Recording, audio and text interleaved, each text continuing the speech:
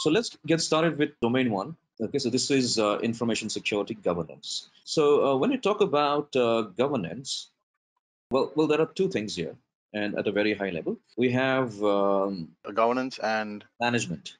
Okay, so here is um, this is from COBIT only. COBIT, uh, are you familiar with COBIT? COBIT is like a like it's the rightly said, it's like a framework uh, to help you implement some uh, some key controls within the organization. And uh, so and so many of the concepts here is uh, somewhat aligned with the COBIT principles. So we will we don't have to directly on the read uh, COBIT, but many of the principles are. So this is one of them, which is uh, talks about uh, the governance, the difference between governance and management team and we will obviously go over these again and again. So governance uh, is about providing that direction, providing a long-term horizon, the vision. And so what, what they do is they kind of provide the direction for the management team to move towards certain goals, certain visions, and so on. So the management team will plan and build and run, monitor whatever they need to do. And the governance team is going to direct the management team, uh, evaluate their performance, monitor and evaluate the performance.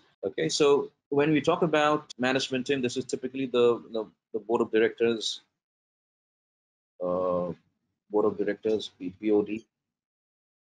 Okay, key stakeholders, they are the ones who be part of these governance team.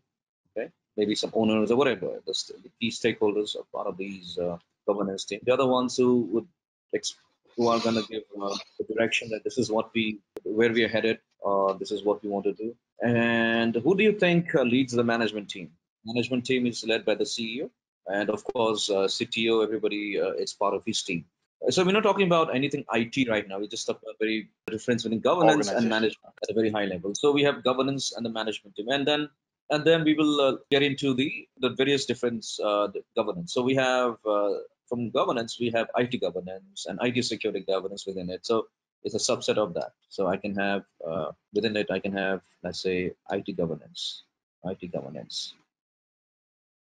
And within that, I can have uh, IT security governance. Yeah. So all part of governance only. So there might be specific team members who've been delegated that act, that those responsibilities, IT security governance. Okay. It's quite horrible to write here, but I hope you understand here. Yeah. So that's a very high level understanding about uh, governance and uh, management. Let's see what we have to understand here. Let's go back there. Okay. So here we talked about um, security, information security governance. This is a subset of the governance. Governance will look into various aspects of governance, right? There are multiple things it might look into. And here um, we're only talking about the information security governance, which is a subset of the overall governance.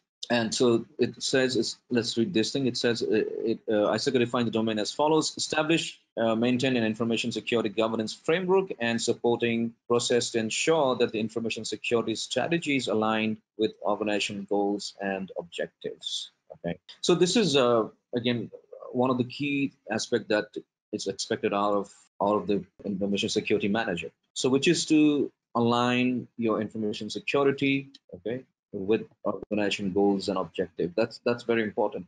Basically, what we're saying is that IT or IT security, they all have to be to be aligned with with the the organization. It cannot be running in silos. Okay, so we need to understand uh, what the goals are, what the objectives are, what the missions are. Mission is not mentioned here, but again, the mission is uh, kind of a long-term mission and vision to the long-term strategic uh, direction that the organization has, the reason why an organization exists. So we need to understand those things and be able to support it uh, at a very high level.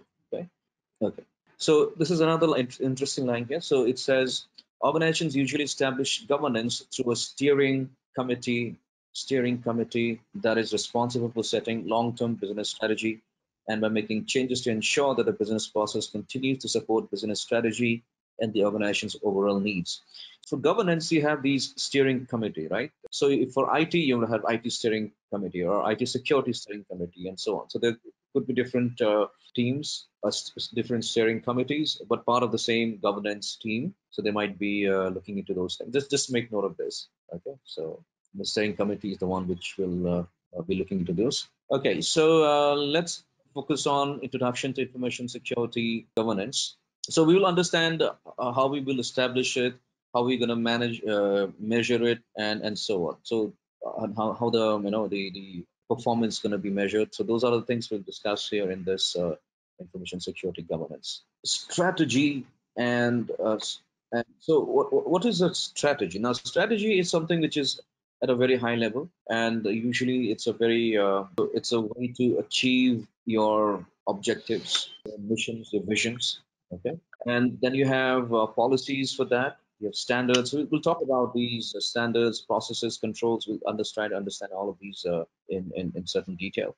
So i want to talk about uh, some basic concepts. So one of them is uh, this is again slightly uh, you know slightly interesting technical technical here. But basic concept we need to understand about security. Okay, so which for that we need to understand something called a CIA CIA triad, and the CIA stands for integrity, uh, confidentiality, and uh, availability. the threats could be intentional attacks, accidental leakages, authentication and authorization failures, hardware, software failures, etc. So we'll, we'll, discuss some of them. We'll not discuss all of them, and in, in this particular uh, course, we're not we're not getting getting into all of these concepts here many of you will not get into these things encryption and all this stuff but what, what you need to understand is yes the uh, you know the, the security you know the confidentiality is important. Similarly the integrity. Integrity is about uh, the information being protected against any unintentional uh, so intent un, uh, intentional or unauthorized changes. Okay somebody who's not authorized is making those changes in the system uh, well we need to protect that against such uh, such things. Okay so if you're not authorized to make changes you not you will not make change. But if you if you are authorized then you can make those changes. That's what integrity means. And again there can be malicious users who you know make those changes. Again you don't need to know all of these things but i just want you to understand what uh, integrity means. And and there are again different ways to protect that uh, like encryption hash and checksums and and so on. Okay these are again not really important for you for this particular course. And the last bit here is about availability. So where we are able to ensure that the systems and data are available and on demand according to agreed upon parameters. So whenever you take some kind of a, a, a service from a third party, there's a very important document that you kind of uh, sign with them. What, what is that document called? Any idea? And so availability always never is it's never 100%. So usually you have 99.9% or 98% availability, whatever. Again, but, the idea here is that those systems must be available on demand as as per your agreement terms. Okay, so again, uh, we're not getting all the details, but what I would just want you to understand is that you know th- there are these uh, CIA it, because as a security uh, practitioner, you need to be able to protect the CIA of your systems. Okay, and we might talk about these terms: confidentiality, integrity, availability later on. And uh, I want you to be kind of, you know, be familiar with whatever we're discussing uh, at that point of time. Okay. Uh, there are obviously various different courses. I, I don't want to get into those things. Uh, we will discuss this as and when we uh, get that. Now, what we'll talk about is um, is a security policy, and and a security policy again is a very important document because uh, just a second. So uh, again, having a proper security is absolutely important for any ongoing business. Uh, so without security, uh, without information security or any any any, any security, right? So while the your, your, the course is focused on information security only, uh, the security actually is a huge uh, you know there's a huge different um, meaning to it. So there's a lot a lot of things that needs to be looked into when you talk about uh, security. Anyways, but the point here is that the security is essential. Now, if you, if your information, if your security is not is compromised, then your business may not uh, survive. And and the security must be endorsed by the senior management. The policies must be endorsed by the senior management. It shows their commitment towards security, right? So if when they kind of sign on the secure, security policy, it's usually the top people, the CEO or whoever the whoever the you know senior management uh, uh, is they will sign on the security policy. And why? Because they need to take ownership of this. The security has to be top down always. Okay, it has to be top down, and they will take responsibilities for that. And usually, again, if there is no policy, then everybody decides their own appropriate behavior, and that may or may not always be aligned to your organization's requirements. So you have to ensure that everybody kind of follows that and uh, also having security policies in place, that's usually a compliance requirement. So these are some of the reasons why um, you know we have uh, information security uh, security policies, and um, policies are usually top down, as I said before. Okay, uh, it, it must be generic, non-technical, and easily understood. Uh, policies are mandatory, and these are reviewed on a regular basis. Okay, so so we said uh, top down, generic, easily understood. It's a mandatory statement. It, it is reviewed on a periodic manner. And the policy charts, how do you derive a policy? Now, uh, there is a, you have to look into the regulations, the existing regulations, the existing policies, okay, laws, directives, whatever. So suppose you, you're aware, I mean, you, you're, from, you're based out of UK, isn't it?